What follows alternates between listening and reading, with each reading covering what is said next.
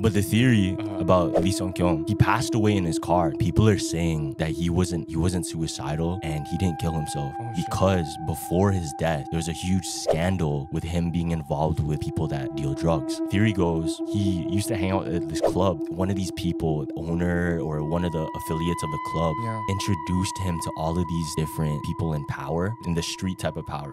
So Mm. they're dealing with, you know, like the mob bosses. yeah, like human trafficking, drugs, and all of these things, right? But because that's the circle and all of these elites kind of hang out together, he was involved. They found his body in a car. And what's interesting is he left like a suicide note and everything, right? Yeah.